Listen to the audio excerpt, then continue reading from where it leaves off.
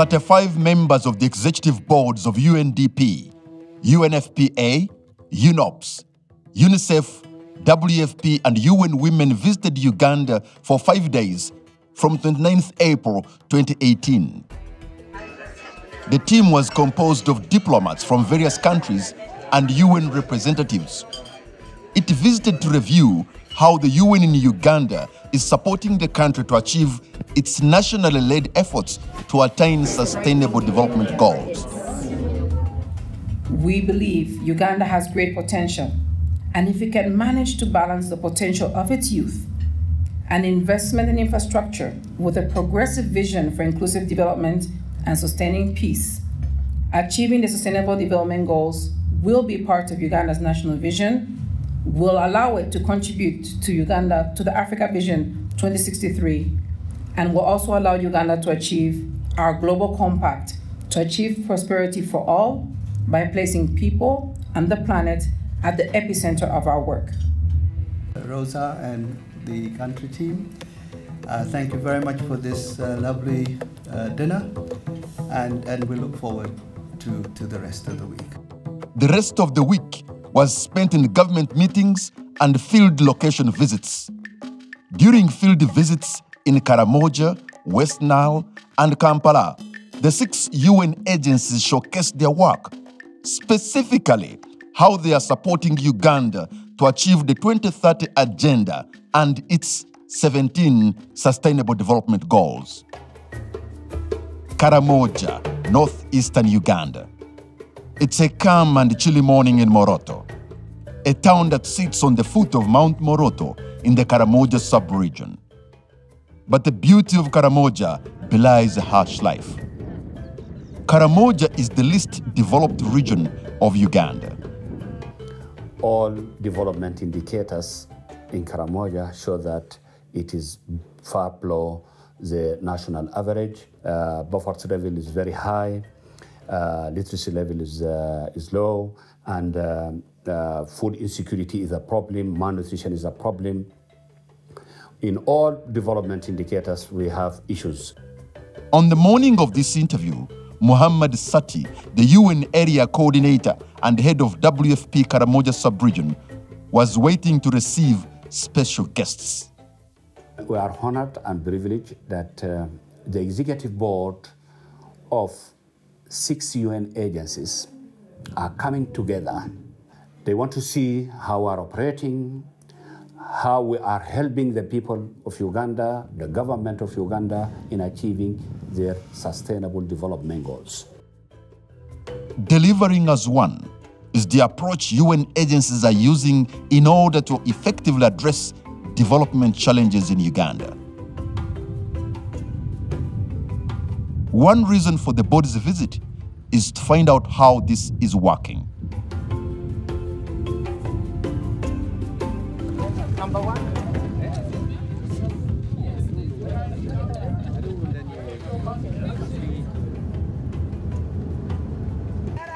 The delegation was keen to see what is on the ground, and so they hit the road. First, to Rupa Health Center.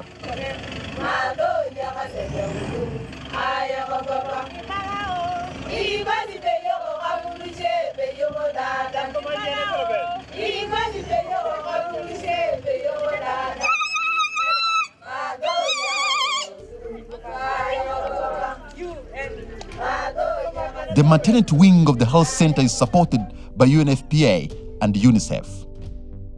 This is the maternity, how small uh, as it is. This is what we do ANC here, that is antenatal. We do postnatal, we even have a mother here, we've not yet discharged. We also offer family planning here. Besides the medical and family planning services offered at the health center, food is also given to the expecting and the young mothers. This is provided by the World Food Program. Karamoja is also notorious for its violence and insecurity. The UN is for this reason supporting the local police force to reverse the situation.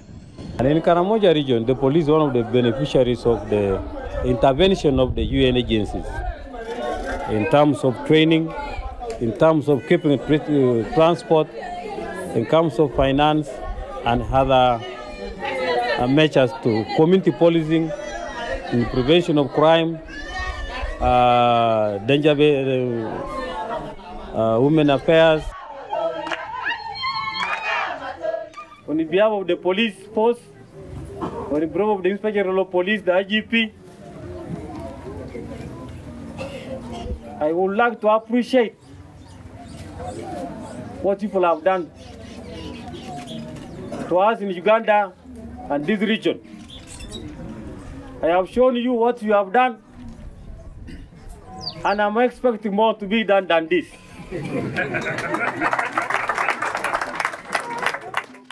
The support the UN has offered the government in its development agenda is recognized by local leaders. The UN has supported us in the form of institutional strengthening, peace, security, enhancement, environment, and social protection. Wherever it went, generous praise was heaped on the UN delegation for the development support the UN has offered Karamoja. But be that as it may, the UN called on the local governments to take a lead and ownership of the development agenda. What we need is for the local administration to be able to continue and maintain a project that has been completed by the UN system. Very often in many countries, what we see is the UN comes, starts a project, completes the project, and once the project is completed, there is no way of sustaining it. For a long time, the attitude toward Karamoja in Uganda has been reflected in the saying, we won't wait for Karamoja to develop.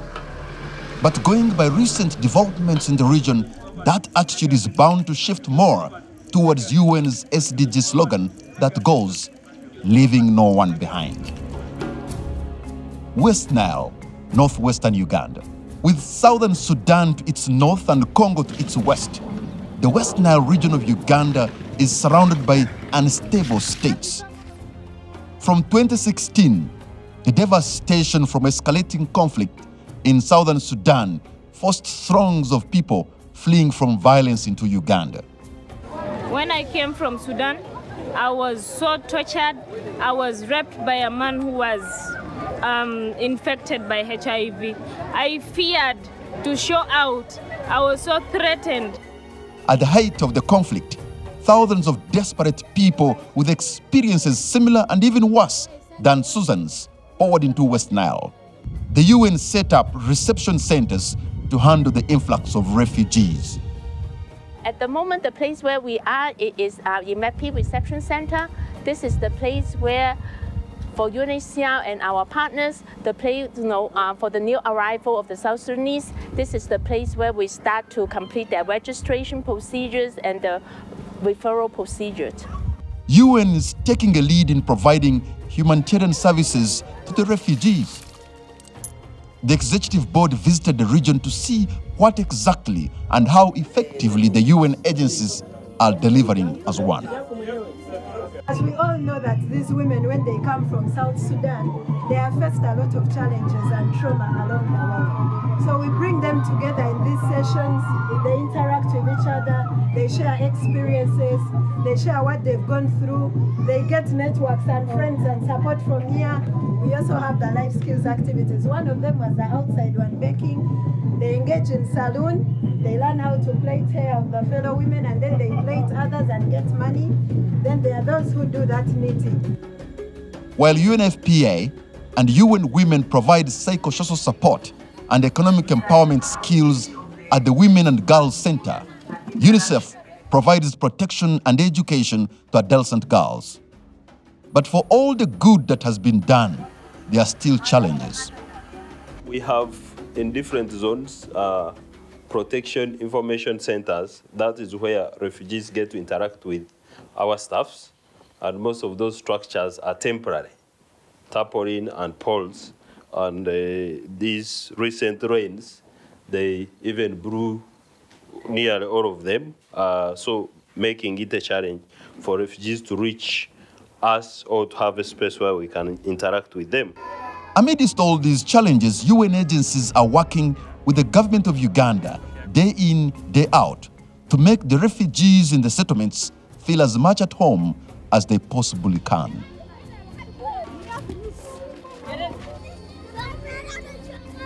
government of Uganda and the communities and the people of Uganda are extremely generous.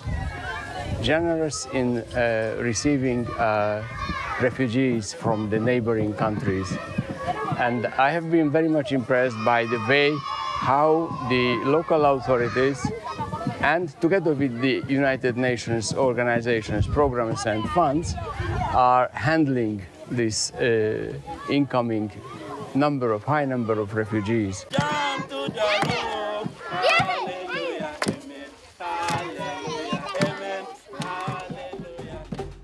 Kampala. UN's work is not restricted to the rural areas alone. Kampala, the capital city of Uganda, has its share of problems. Uganda has a youthful population with 7 out of every 10 people below the age of 30. Many of these young people face reproductive health challenges such as unsafe abortions, unplanned pregnancies, and HIV and AIDS. The UN board visited one of Kampala's slums, Kisenyi. Here they were received by Muvubuka Agunjuse, a youth-led organization providing adolescent sexual reproductive health services. You're welcome. Amanya, I'm called Semamba Moti Fred. He's Semamba Moti Fred? I'm a peer educator. You, you can. Okay, okay. Sorry, okay, let me together. Okay. I am ndiye msomesa mu peer educator abayasomesa abavubuka okwekuuma about family planning those HIV and STDs. He conducts peer education and he talks about family planning, STDs, HIV. tusomesa abavubuka okwekuuma obulwadde bwa siriimu okufuna embuto nga bakyali baana bato They talk a lot about HIV and uh, family planning naye and e- pregnancy. ebyo byonna tubikola nga tuyita mu mirimu gyaffe gino gye tukola Business is a key part of what they do here. Tukola amakeesi tukola obulibwamu bw'enkoko They, they do those pottery uh, metals and uh, suitcases. They make baking tins. Yeah.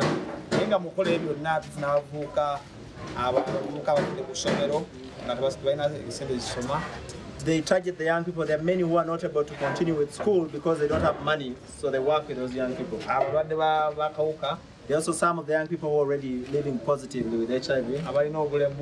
Abalina obulemu Uh, some with disability.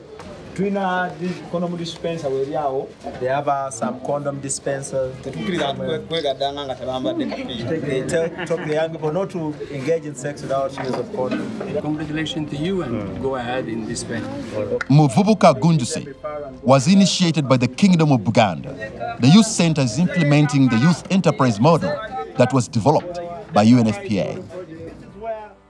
On a different side of town, the board members witnessed the handover of a vocational institute established by UNOPS in collaboration with the Korea International Cooperation Agency.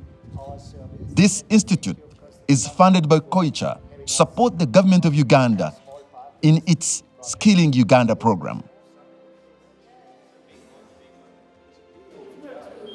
So thankful to you in behalf of the ministry.